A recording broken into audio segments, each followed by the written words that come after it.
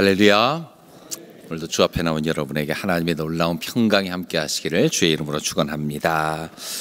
오늘 역대하의 말씀을 통해서 아, 본문의 제목을 전쟁에 대비하는 법 이렇게 이야기를 해놨는데 아, 전쟁이라는 말을 우리가 썩 좋아하는 말은 아니고요. 아, 좀 꺼려지는 용어지만 현실 속에서는 이것이 너무나 가까운 것을 보게 됩니다. 어, 예전에 많이 하던 우리 복음성가 중에서 그런 게 있었어요. 세상은 평화 원하지만 전쟁의 소문 더 늘어간다. 아, 이런 찬양을 했던 기억이 납니다.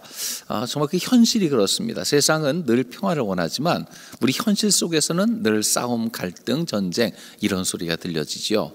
아, 그나마 우리 사회가 전쟁 없는 사회, 전 세계가 하나의 시장이 된 것처럼 여겨졌던 것이 얼마 전입니다.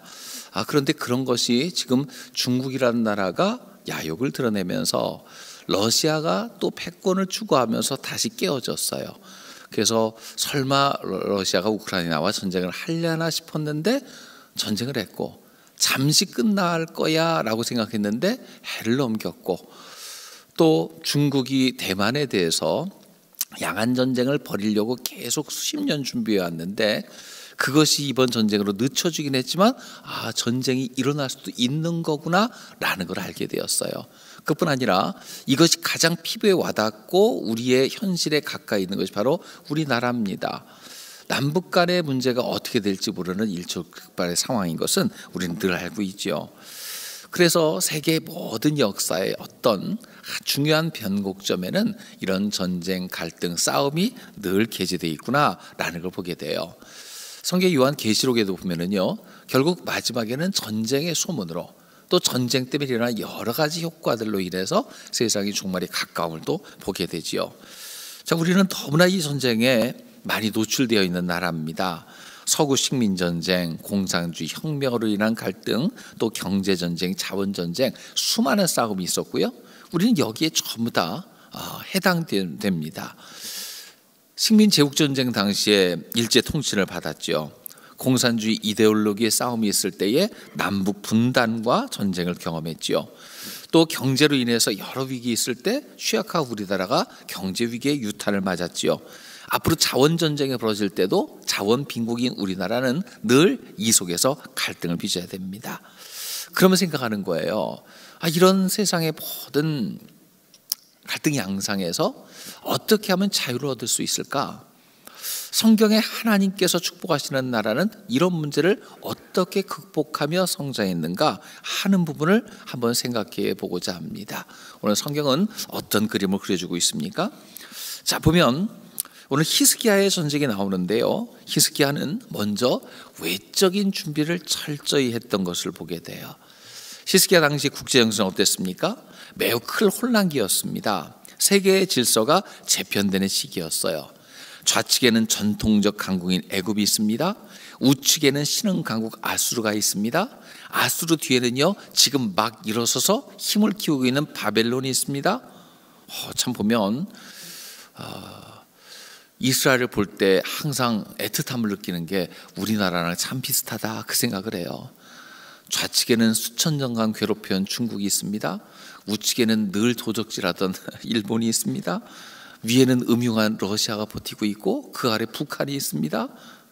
강, 저, 저 바다 건너에는 미국이 항상 힘을 가지고서 어떻게 할까 고민하고 있습니다. 그 가운데 끼어 있는 우리나라, 그 세계적인 힘의 대결 가운데 남북으로 분단된 가운데 있습니다. 언제 전쟁이 일어날지 몰라요. 참 이스라엘의 형편을 보게 되면 북왕국과 남왕국으로 갈라져서 강대국 틈바구니에서 늘 숨지고 있었던 나라. 우리나라와 참 비슷하고요. 그래서 성경을 읽을 때마다 하나님께서 우리 민족을 위해서 유대 나라를 이렇게 주시고 우리에게 지혜를 주시는 것 같다. 그런 생각을 할 때도 종종 있어요. 당시 가장 위협적인 패권국가는 아수르였습니다. 그의 아버지였던 선왕 아하스는요. 아수르와 친밀하게 지내자 그런 정책을 펼쳤어요. 현실적 선택이었습니다. 왜냐하면 아수르는 당시에 이스라엘 주변에 있는 시돈, 아스돗, 에돔, 모합, 에그론을 다 정복했습니다. 결국 북이스라엘까지 쳐들어가서 함락시켰습니다. 수많은 포로를 끌고 갔습니다. 그러므로 유다는 거기에서 꼼짝없이 친밀 정책을 칠 수밖에 없었어요. 어느 나라가 감히 아수르와 맞설 수 있겠는가? 당시 정세였습니다. 크기 포악한 나라였어요. 현재도 사내립 왕이 애굽을 정벌하러 가면서 세 명의 방백을 유다로 보내서 유다까지 손보고 가겠다. 아 그러면서 전쟁이 시작되는 거예요. 근데 히스기야는 무엇을 배웠냐면요. 실패를 통해서 배운 게 있었습니다. 지금 전쟁이 아수라의 첫 번째 싸움이 아니었어요. 여러 해전의 침략을 당해서 굴욕적인 항복을 경험했습니다. 그 전 왕이었던 그, 그, 그 왕 때는요, 아람과 북이스라엘이 처음 침략할 때에 아수르의 원군을 적했습니다. 그땐 도로 왔습니다. 도로 온 것처럼 보였지만 도움을 주고 나서 남유다에 있는 온갖 재화와 보물들을 싹쓸이해 갔습니다. 도와주러 왔지만 강도짓을 하고 갔어요. 예전에 신라가 당나라를 통해서 백제와 고구려를 이렇게 막 하려고 했잖아요. 나당 연합군이 형성됐는데 당나라가 와서 도와주는 척은 했습니다. 그리고 신라를 털어갔습니다. 똑같아요. 비슷해요. 열왕기 18장 13절을 보면은요. 히스기야 왕 때에 어떻게 했습니까? 아수랑 사내비 올라와 유다 모든 견고한 성읍을 쳐서 점령하매 지금이 자기가 있을 때도요 첫 번째가 아니에요 이미 쳐들어와서 견고한 성읍 46개를 탈취했고요 포로를 잡아갔고요 그때 왕궁과 성전 곳간에 있는 모든 보물을 조공을 들여서 모면했습니다 자 그러면 그렇게 겨우겨우 명맥을 유지하는 것이 나라를 지키는 길인가요? 길인가요? 그렇지 않습니다 그런 수모를 여러 번 당했습니다. 그때는 기도도 하지 못하고 하나님의 은혜를 입지도 못하고 꼼짝없이 당했었어요. 히스기야는 준비를 철저히 합니다. 이미 성전을 정비했고 유월절을 지켰고 우상을 없애서 열심을 내 하나님 편에 섰습니다. 그러면서 구체적으로 군대를 준비하고 성을 견고히 합니다. 자기가 할 수 있는 최선의 준비를 해요. 역대 33장 3절에서 5절을 보면은요. 그 준비 과정을 나와 있죠. 같이 한번 읽어 보겠습니다.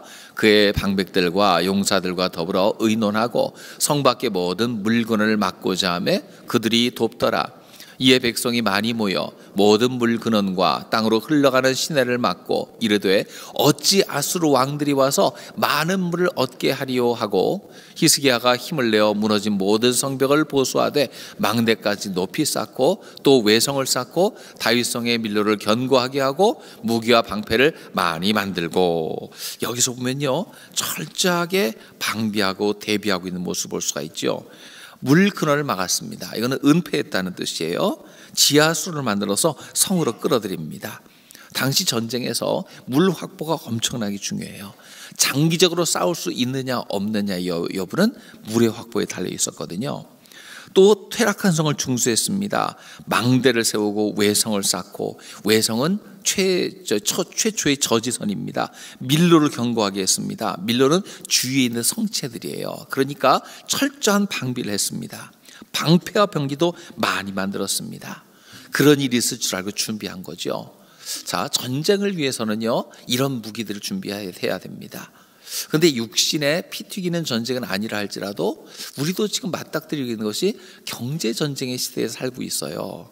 그렇지 않습니까? 인플레가 되고 환율이 오가고 그 저기 보면 어, 채권 이자가 조금 올라간 것 때문에 어, 미국의 은행이 망하고 흔들리고 그러잖아요. 우리나라도 지금 국가 부채가 너무 심해 갖고 어느 한 순간 나라가 흔들릴 수 있는 위기 상태입니다. 잘 대비해야 됩니다. 그래서 어떤 목사님은 지금도 준비해야 될 여러 가지를 가게가 무너지면 안 된다. 그러면서 이런 준비를 요청했어요. 제발 은행 부채를 줄여라. 정말 중요한 거예요. 생활 수준은 검소한 생활 수준을 늘 유지할 수 있어야 된다. 저축하는 습관을 기르고 하늘에 쌓는 것도 중요하니까 11조 생활은 철저히 하고 국산품을 애용하면서 국내 기반을 흩어뜨리면 안 된다. 왜냐하면 외국에서 모든 것을 의지하다가 한순간 망가질 수 있기 때문에 뭐 이런 지혜를 대비 저기 제시한 목사님도 봤어요. 정말 그렇습니다. 언제 어떤 위기가 닥치더라도 내가 미리 대비하고 있으면 흔들리지 않게 되는 줄로 믿습니다. 우리도 살 수 있는 최선의 준비를 다한 우리 모두가 되시기를 주의 이름으로 축원합니다. 그러면 병력만 준비하고 군사만 준비하면 전쟁에서 그냥 저절로 이깁니까? 그렇지 않습니다. 외적인 준비만큼 더 중요한 게 내적인 준비예요. 히스기야는 지도자로서 외적인 준비 잘했습니다. 성벽, 무기, 군수 다 준비했습니다. 근데 정말로 중요한 것은요, 백성들이 그것에 대해서 확신과 신뢰를 갖고 지도자를 따라주느냐, 그게 정말 더 중요합니다. 이전의 전쟁에서는 중심을 잃고 싸우지도 않은 채 마음이 무너져 항복했고 경제적으로 큰 곤란을 겪었거든요. 이번에는요, 선자 이사야가 이 전쟁은 하나님이 너와 함께 하신다. 확신 있는 언어를, 예언을 들었어요. 기도를 받았어요. 그럼에도 모든 준비를 다 한 후에 군대 장관과 백성들을 모아놓고 이야기합니다. 역대하 32장 6절 7절 말씀입니다. 같이 읽어보겠습니다. 군대 지휘관들을 세워 백성을 거느리게 하고 성문 광장에서 자기 앞에 무리를 모으고 말로 위로하여 이르되 너희는 마음을 강하게 하며 담대히 하고 아수르 왕과 그를 따르는 온 무리로 말미암아 두려워하지 말며 놀라지 말라. 우리와 함께 하시는 이가 그와 함께 하는 자보다 크리. 자 이야기하고 있죠. 강하고 담대하라. 엄청난 수의 적을 보면 저절로 마음이 쪼그라들어요. 아무리 예루살렘이 요새지고 잘 준비했다 할지라도 사기가 꺾이면 안 돼요. 분명한 근거도 있습니다. 7절 후반에 보면 우리와 함께하는 자가 저와 함께하는 자보다 크니 이야기하고 있잖아요. 크다라는 것은 많다는 뜻이에요. 숫자가 많습니까? 잘 생각해 보면 이 크다라는 말, 이 말은 성경 어디에 쓰인 말이냐면요. 엘리사가 도단에서 있을 때 그 성 전체를 아람왕의 군대가 둘러쌌습니다. 그때 엘리사가 당황하는 사환에게 한 말이 그겁니다. 우리와 함께 하시니가 저와 함께 있는 자보다 크다. 이 크다는 말은 뭐예요? 군사는 하나도 없었어요. 근데 영적 눈을 뜨고 보니까 그 바깥에 천군 천사 불말 불말과 불명가가 가득한 그 모습으로 봤잖아요.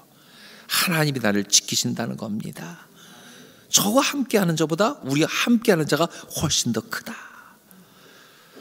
저와 함께하는 자는 육신일 뿐이지만 우리와 함께하는 자는 하나님이시다. 분명한 믿음의 선포가 있었습니다. 여러분 싸우기 전에 먼저 믿음으로 싸워 이기시길 주의 이름으로 축원합니다. 보이지 않는 것을 보는 사람이 지도자예요. 우리 그리스도인은 세상의 지도자가 되어야 될 줄로 믿습니다. 세상은 눈에 보이는 것밖에 안 보여요. 그 세력만 봐요.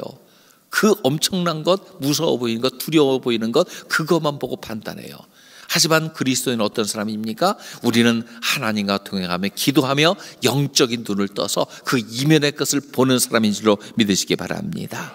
그런 사람이 지도자가 돼야 되고 그런 사람이 있을 때에 주위 사람들이 위기의 시대에 마음이 흔들리지 않고 담대할 수 있는 겁니다. 이렇게 왕이 자신 있게 선포하니까 하나님이 대신 싸우신다 선포하니까 백성들은요 안심합니다. 역대하 32장 8절 말씀입니다. 같이 읽어보겠습니다. 그와 함께하는 자는 육신의 팔이요 우리와 함께하시는 이는 우리의 하나님 여호와시라 반드시 우리를 도우시고 우리를 대신하여 싸우시리라 하매 백성이 유다 왕 히스기야의 말로 말미암아 안심하니라 안심했어요. 백성들 마음속에 있던 일만의 두려움이 사라지고 평안이 그들의 마음을 좌우했어요. 여러분 확신 있는 말, 믿음의 말에는 능력 있는 줄로 믿으시기 바랍니다. 반대로 불평과 불만, 두려움, 부정적인 말에도 힘이 있어요. 사람의 힘을 빼는 힘이 있습니다. 여러분 우리는 항상 입술을 열 때마다 능력 있는 언어를 사용하시길 주의 이름으로 축원합니다. 아무리 세계가 요동치고 싸워도 우리가 예수 안에 믿음 안에 있을 때에 넉넉히 이기고 승리할 줄로 믿으시길 주의 이름으로 축원합니다. 아 그런 면에서 전쟁은 심리전이잖아요. 싸우기 전에 먼저 마음을 무너뜨리면 이길 수 있어요. 요즘도 경제 전쟁의 시기인데요. 이 경제 전문가들이 한 말이 그거예요. 경제는 심리다 그런 얘기를 해요. 그게 뭔 얘기입니까? 언론이 뭐 여론이 막 떠들어댑니다. 뭐 세계가 이렇고 뭐 어떤 문제가 생기고 파산하고 주가는 막 날뛰고 환율은 올라가고 회사는 부도나고 막 이런 일이 곧 닥칠 거다. 뭐 어떤 일이 있을 거다. 수많은 뉴스가 들려지는데 그 속에서 마음이 움츠러들면 그때 손해 본다는 거예요. 더 멀리 보지 못하면 지금 당장의 작은 손해를 막아보고자 소탐 대시라는 결과가 있다는 거예요. 그래서 두려움에 빠지면 손해 보게 되어 있지만 냉정하게 마음을 정리하면 오히려 위기의 때에 더 큰 유익도 얻을 수 있다. 이게 경제 전문가들이 한 얘기입니다. 물리적 전쟁도 그렇고요. 경제 전쟁도 그렇고 중요한 것은 마음가짐이에요. 여러분 하나님이 우리와 함께 하시면 우리는 우리가 주의 뜻대로 주님 중심으로 서 있으면 손해 보는 자가 아니라 오히려 그 위기에서 승리한 자가 된 줄로 믿습니다. 혼란스러울 수 있을록 그리스도인들이 중심을 잡아야 됩니다. 2000년 전에 로마로 향하는 배가 있었습니다. 성경에 나오는 배입니다. 그 속에 보면요. 선주와 또 상인들, 군인들, 죄수들 말이 있는 배가 있었어요. 그 배를 누가 좌우했냐면 처음에는 선주가 좌우했습니다. 왜냐하면 경험 많은 전문가니까요. 내가 선장이다. 수십 년 배를 몰아봤다. 전문가잖아요. 위기가 생기니까 누가 나섭니까? 군인들이 나섭니다.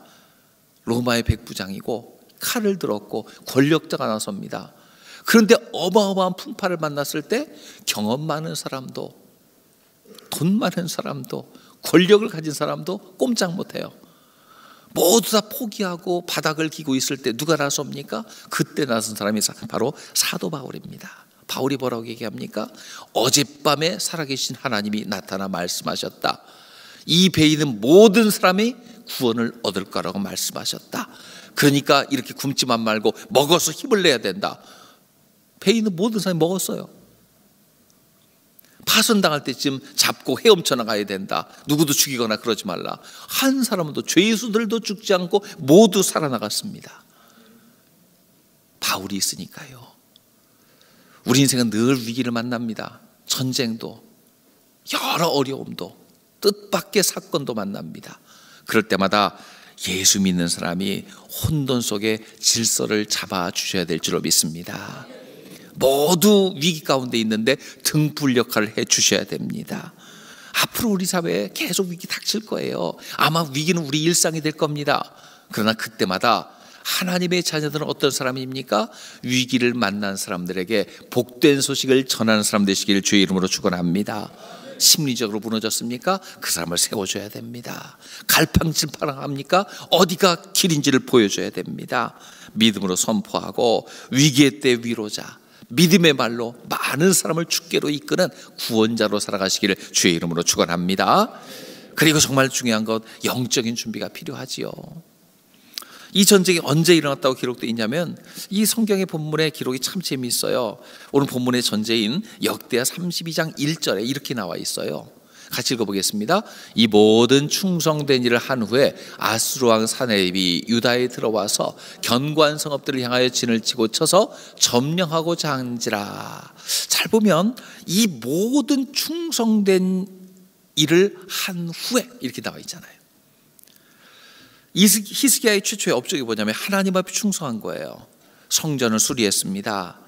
절기를 정비해서 유월절을 지켰습니다. 우상을 파괴했습니다. 전 왕 때 일어났던 모든 악한 것들을 하나하나 일소하고 깨끗하게 하나님만 섬기는 나라로 만들어 갔습니다. 그 선왕 때 망가진 하나님과의 관계를 온전히 복원하기 힘썼습니다. 이스라엘 민족의 존재 이유가 무엇입니까? 하나님을 섬기고 하나님만 예배하는 민족. 하나님을 섬기로 말미암아 받은 복을 전 세계에 흘려보내는 복의 근원된 나라가 이스라엘 나라입니다. 그러므로 이 고난이 닥친 때가 이런 충성된 일을 한 후라는 것을 의미 있게 봐야 됩니다. 그러면 그 고난이 닥친 것은 멸망당하는 고난이 아니라 하나님께서 예비하신 섭리적 고난인 줄로 믿으시기 바랍니다. 주 앞에 열심하고 충성 다 있는데 고난이 다가왔다. 그러면은요, 하나님이 숨어 있는 축복이 그 뒤에 있는 거예요.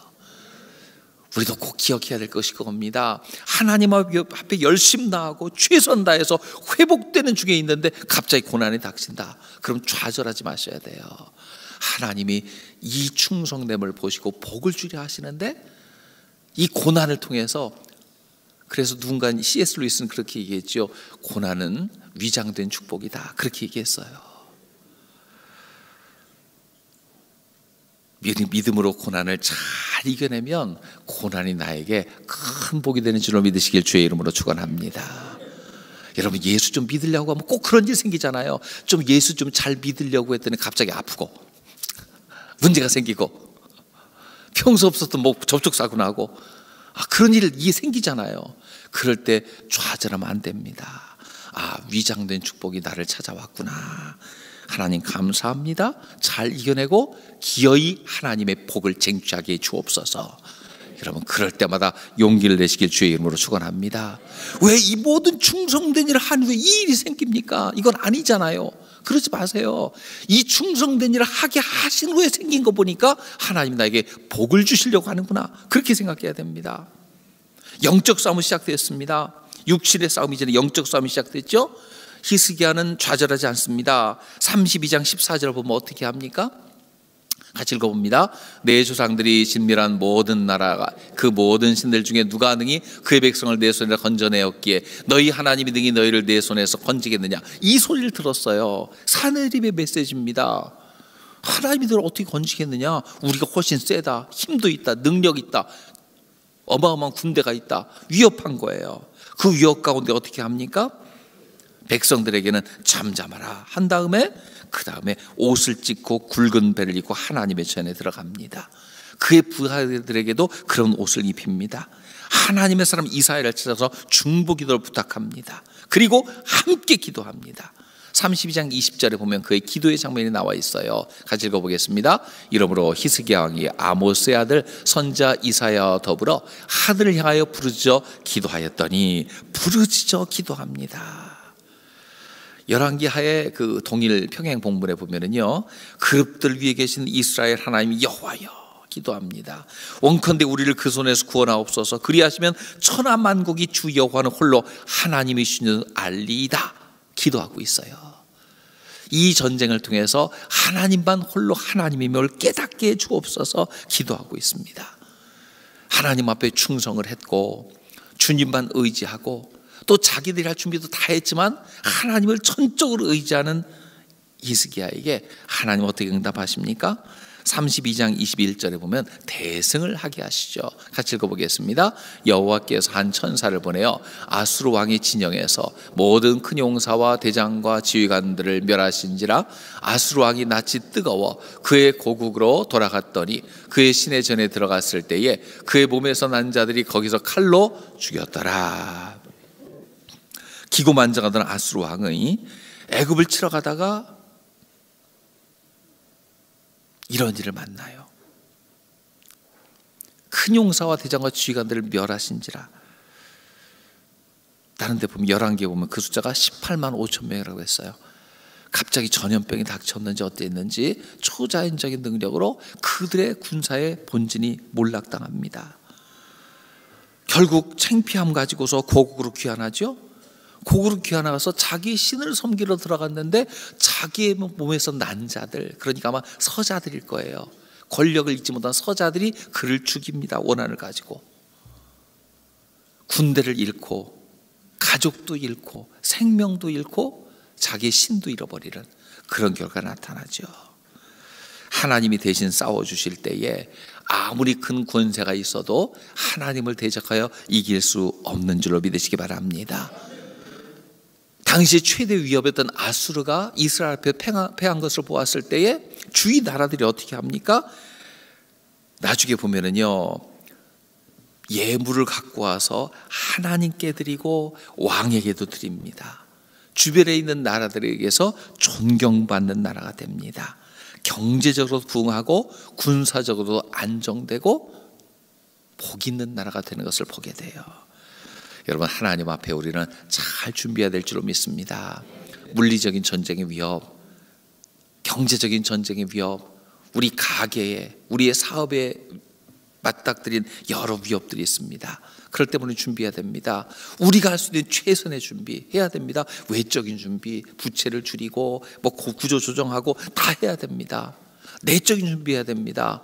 나의 마음, 나 혼자 잘 살다는 것이 아니라 내가 지도력을 발휘해서 주의를 복 있게 하는 사람이 나 그리스도인이다. 정체성을 가져야 됩니다. 그리고 정말 위기가 닥쳤습니까? 하나님 앞에 설 줄 알아야 됩니다. 하나님 앞에 기도하고 주께 맡길 때에 위기가 오히려 전화 위복이 되는 역사가 일어난 줄로 믿습니다. 우리의 삶의 자리 언제나 위기는 상존하지만 주님을 의지하여 그 모든 것들을 이기고 승리하는 하나님의 자녀들 되시기를 주의 이름으로 축원합니다. 기도하겠습니다.